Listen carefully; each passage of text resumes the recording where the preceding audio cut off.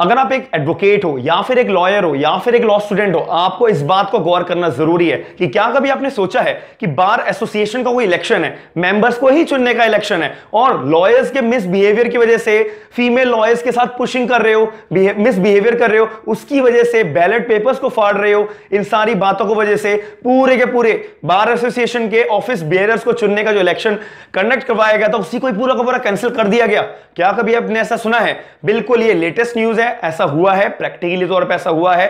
साथ ही में भी सुप्रीम कोर्ट ने इसी बात को ध्यान में रखते हुए एक अपना स्ट्रिक्ट एक अपना ऑर्डर पास करा है और एक अपने एक सजेशन दिया है कि ये कभी भी बार एसोसिएशन का इलेक्शन होगा तो ये रूल्स को फॉलो करना भैया ज़रूरी है।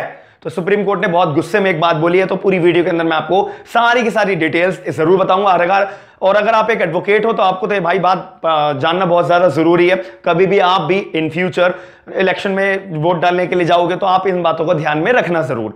तो हम इस वीडियो को स्टार्ट करते हैं। मेरा नाम है आयुष, आप देख रहे हैं स्मार्ट एंड लीगल गाइडेंस अब आपके मन में भी कभी ना कभी एक बारी डाउट आता ही है कि मुझे जुडिशरी के एग्ज़ाम्स की तैयारी करनी है। मैं एक लॉ स्टूडेंट हूँ, मेरे लॉ ग्रेजुएट होने के बाद डायरेक्ट मैं अपने जुडिशरी के एग्ज़ाम्स की तैयारी करके अपना एग्ज़ाम दूँगा और एग्ज़ाम को क्रैक करूँगा। उसके लिए मुझे कोचिंग सेंटर जाना पड़ेगा। ऑनलाइन कोचिंग कौन सी बेस्ट रहेगी मेरे लिए? मुझे इसको पहचानना पड़ेगा। तो ये सारे डाउट्स को क्लियर करने के लिए अन अकेडमी आप सभी लोगों के लिए एक जुडिशरी पीसीएस जे की कोचिंग का एक बेस्ट प्लेटफॉर्म लेकर आया है, जिसमें लाइव इंटरेक्टिव क्लासेस होती हैं।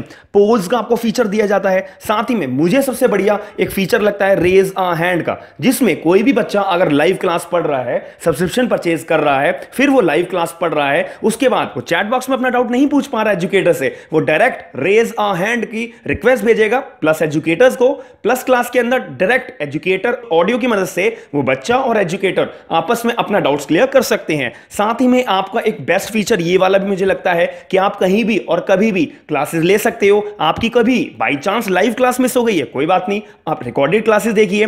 साथ ही में इसके अंदर ये सबसे बड़ी स्पेशलिटी अन अकेडमी की ये हर महीने नया बैच लेकर आते हैं। आपको टी की टेस्ट सीरीज़ भी आ, करने के लिए मिलती है फ्री ऑफ़ कॉस्ट प्राइजेस आपकी स्क्रीन के ऊपर शो हो रहे हैं। One month three month six months twelve months eighteen months और ट्वेंटी फोर मंथ्स आपको सबसे बेस्ट बात यह है कि मेरा कोड यूज़ करने पे S L G one zero का आपको ten percent discount hand to hand मिल जाएगा। ऐसी अपॉर्चुनिटी हर किसी को नहीं मिलती है तो आप लोग इस जुडिशरी के प्लान्स को ज्वाइन करने का अन अकेडमी ऊपर ज़रूर सोचिएगा।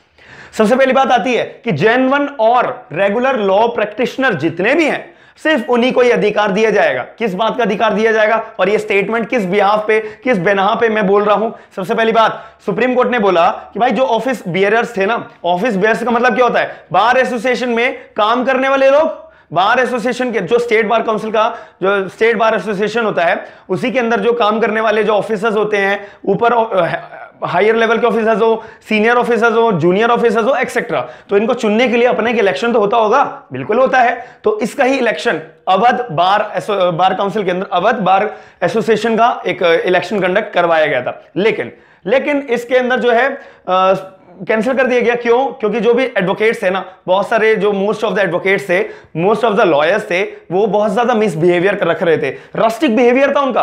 और उनका बहुत ज़्यादा ब्रीच भी करा गया उन्होंने प्रोटोकॉल्स को। और हाईकोर्ट के प्रीमाइसिस में वो सभी लोग एंट्री कर रहे थे। वहाँ पे अलाउड नहीं है। फिर भी वो एंट्री कर रहे थे। तो इस वजह से मजबूरन पूरे के पूरे इलेक्शन को जो है, पूरे के पूरे इलेक्शन को रद्द करना पड़ा था। कौन सा इलेक्शन अवध बार एसोसिएशन का ऑफ़िस बियरर्स को चुनने के लिए जो इलेक्शन कंडक्ट करवाया गया था तो उसको कैंसिल कर दिया गया। क्यों? क्योंकि हाईकोर्ट की अपनी सिक्योरिटी के प्रेमिसिस को लेकर ध्यान में रखते हुए। साथ ही में, इतनी छोटी सी बात नहीं है ये। कहीं आप लोग सोच रहे अरे यार, केवल जो है यहाँ पे रस्टिक बिहेवियर थोड़ा धक्का मुक्की तो हो रही होगी, थोड़ा बहुत ही चल रहा होगा। नहीं, यहाँ पे बहुत ज़्यादा हाई लेवल की बात थी, मैं आपको बताता हूँ। सबसे पहली बात, यहाँ पे जो है, जो एडवोकेट्स थे लॉयर्स थे, वो बैलेट पेपर को फाड़े जा रहे हैं। और जो लेडी लॉयर्स हैं लेडी एडवोकेट्स हैं, उनके साथ मिसबिहेवियर कर रहे हैं, उनको धक्का मुक्की कर रहे हैं। साथ ही में जो है, यहाँ पे मिसबिहेवियर भी हुआ था। यहाँ पे चौदह अगस्त 2021 की ये मैं बात बता रहा हूँ स्टेटमेंट बता रहा हूँ, जो इतनी सारी दिक्कतें प्रॉब्लम फेस हुई थी। साथ ही में एक लॉयर का हैंड तक फ्रैक्चर हो गया था। इतने मतलब प्रॉब्लम फेस करी गई थी। दूसरी बात ये,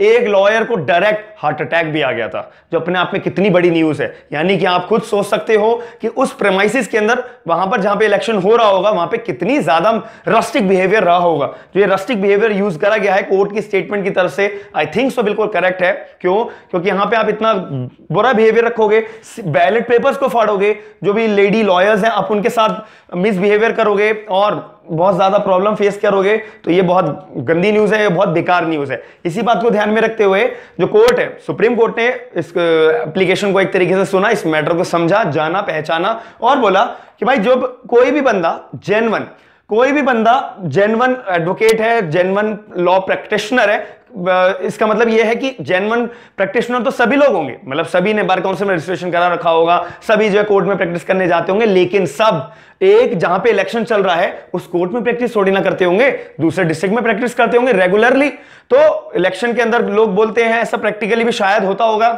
कि किसी अपने बंदे को जो है वोट में जितवाने के लिए तो बाकी सभी लॉयर्स आकर जो है वोटिंग में आ जाते हैं। भले वो उस कोर्ट के अंदर प्रैक्टिस ना करते हो, लेकिन अपने बंदे को जितवाने के लिए या थोड़ा सा कुछ भी मिसबिहेवियर करने के लिए बहुत सारे एडवोकेट्स आ जाएँ एक कोर्ट के अंदर जहाँ पर वो प्रैक्टिस भी ना करते हो तो बहुत ज़्यादा कंजस्टेड हो जाएगा, बहुत प्रॉब्लम फेस करनी पड़ेगी। तो इसी बात को ध्यान में रखते हुए एक लाइन बोली है must be elected by genuine voters advocates who are generally regular genuinely regularly practising in the high court और देयर डिस्ट्रिक्ट कोर्ट इसका मतलब आप जिस कोर्ट के अंदर प्रैक्टिस करते हो, या फिर आप कोई भी डिस्ट्रिक्ट कोर्ट के अंदर या हाई कोर्ट के अंदर प्रैक्टिस करते हो तो रेगुलरली जेनवनली तो आप उसी कोर्ट में अलाउड हो गए अपना इलेक्शन के अंदर वोट डालने के लिए।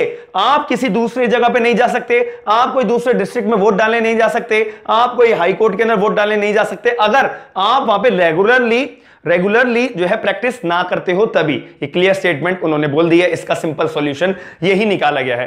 साथ ही में इन्होंने बोला है, ये सब जो इंसिडेंट हुआ है, ये अवध बार एसोसिएशन के अंदर हुआ है। और इन्होंने बोला, सुप्रीम कोर्ट ने भी एक बात बोली है कि who do not regularly practise in the court can not be allowed to hijack the system by participating in selecting bar members ये बिल्कुल सही स्टेटमेंट बोली है। सुप्रीम कोर्ट ने बहुत जेनवन स्टेटमेंट बोली है। ये मेरे हिसाब से तो पहले से ही रूल आ जाना चाहिए था। क्यों? सुप्रीम कोर्ट ने साफ़ ये बोला है कि भाई, आप जिस कोर्ट में प्रैक्टिस नहीं करते हो तो हम जो है, जो बाहर के लॉयर्स आकर हाईजैक हम कैसे करने देते? मेजोरिटी बाहर लोग, बाहर आउटसाइडर्स की आ गई और जो इनसाइडर्स हैं, वो एक्चुअल में वोट डालने ही ना आए। मतलब जो रेगुलरली प्रैक्टिस करते हैं और वो वोट डालने नहीं आए और बहुत सारी मेजोरिटी आ गई जो प्रैक्टिस नहीं करते हैं। तो हाईजैक किसकी तरफ़ से होगा? बाहर के लोगों की तरफ़ से हो जाएगा, नहीं हो जाएगा? मेजोरिटी लोग आ गए तो वो बाहर के लोग अपना बंदा बिठा सकते हैं, नहीं बिठा सकते। अब इस केस के अंदर जो बंदा रेगुलरली प्रैक्टिस कर रहा है, उसका कोई मेजोरिटी केस का है, हो ही नहीं पाएगा। तो उसकी वजह से सुप्रीम कोर्ट ने साफ़ बोल दिया है इस रूल को फॉलो करते हुए कि भाई जेनवनली कोई बंदा एडवोकेट है लॉ प्रैक्टिशनर है, जो रेगुलरली अपने कोर्ट में प्रैक्टिस कर रहा है, भाई वही अलाउड होगा इलेक्शन के अंदर अपना वोट डालने के लिए। वो हम उसको बाहर आउटसाइडर्स को हम हाईजैक करने नहीं देंगे बिल्कुल भी। साफ़ तौर पर कड़े तौर पर अब नया इलेक्शन जब होगा, जब नई डेट्स आएँगी तो ये रूल्स को, ये प्रोटोकॉल्स को फॉलो करने के लिए बोला है और इसके अंदर जो हार्ट अटैक आया है एक एडवोकेट को या एक हैंड का फ्रैक्चर हुआ है तो ये बहुत बड़ी सिचुएशन मेरी नज़र में। आपका व्यू पॉइंट क्या होगा तो आप मुझे कमेंट बॉक्स के अंदर अपना व्यू पॉइंट ज़रूर बताइएगा।